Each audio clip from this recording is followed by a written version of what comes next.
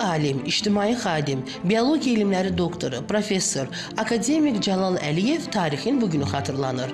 Akademik Cəlal Əliyev fotosintez və fototənəffüs proseslərini kompleks şəkildə tədqiq edib.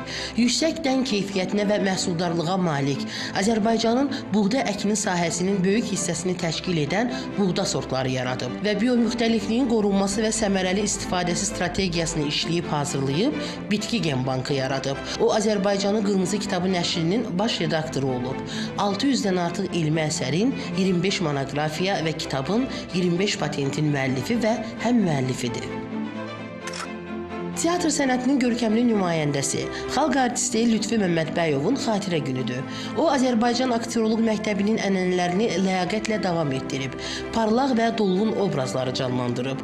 60-dan çox televiziya tamaşasına, İtkin Gəlin teleserialına quruluş verib. O olmasın bu olsun, Qızmar Günəş altında, Sehirli xalat filmlərində çəkilib. Milli kino mədəniyyətinin zəngin ənənələrindən bəhrələnən sənətkarın çəkdiyi ekran işləri Azərbaycan kinosunun qızıl fonduna daxil olub. Müğənni Rüfət Mehdiyevin xatirə günüdür. O Azərbaycan Dövlət Universitetinin Geoloji Coğrafiya fakültəsinin məzunudur. 1989-cu ildən isə musiqi ilə məşğul olub.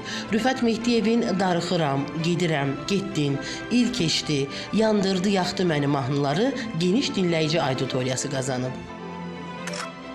Amerikalı aktyor, kinoulduz Clark Gable'ın doğum günüdür. Onu Hollywoodun kralı adlandırırlar. Karyerasına teatr aktyoru kimi başlayıb. 1924-cü ildə səssiz filmlərdə böyük ekranda debüt edib. Clark Gable 60-dan çox ekran işində maraqlı obrazlar yaradıb. Bu bir dəfə Gecə baş verdi filmindəki roluna görə Oscar mükafatına layiq görülüb.